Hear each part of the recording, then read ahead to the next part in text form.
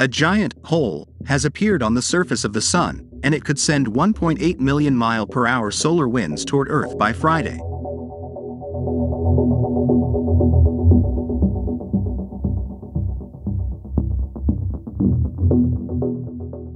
It follows the discovery of a coronal hole on the Sun 30 times the size of Earth.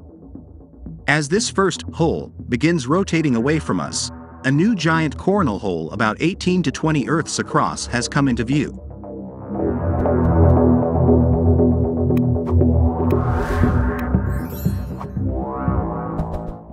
Coronal holes release solar winds into space, which can damage satellites and reveal stunning auroras if they reach Earth.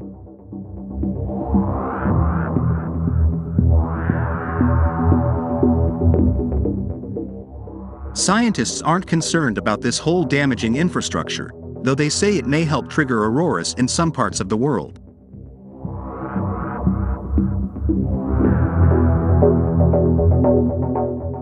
Coronal holes are fairly common, but they usually appear toward the poles of the Sun, where their winds are spewed into space. But as the Sun is gearing up to a peak in activity, which happens about every 11 years, these holes are more likely to appear near the equator of the Sun. This one being at the equator means we're pretty much guaranteed to see some fast wind at Earth a couple of days after it rotates past the central meridian. Coronal holes can blast very fast solar winds, with speeds of more than 800 kilometers per second. That's about 1.8 million miles per hour. The shape of this coronal hole is not particularly special. However, its location makes it very interesting.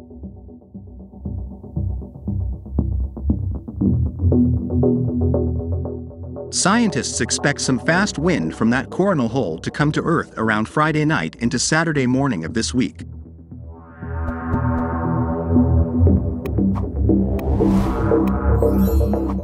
The Sun is a big ball of plasma.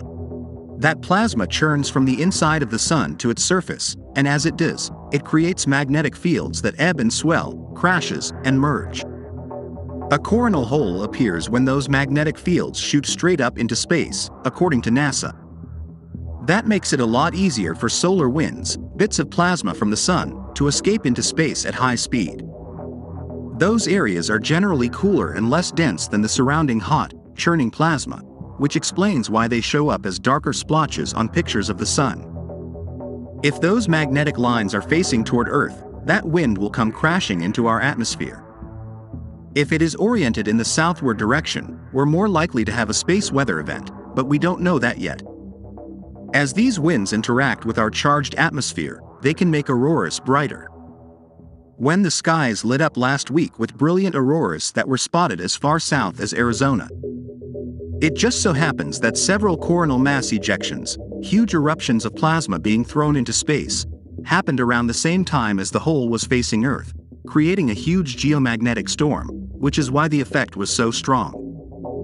In the case of this coronal hole, it's unlikely this will happen again, experts said.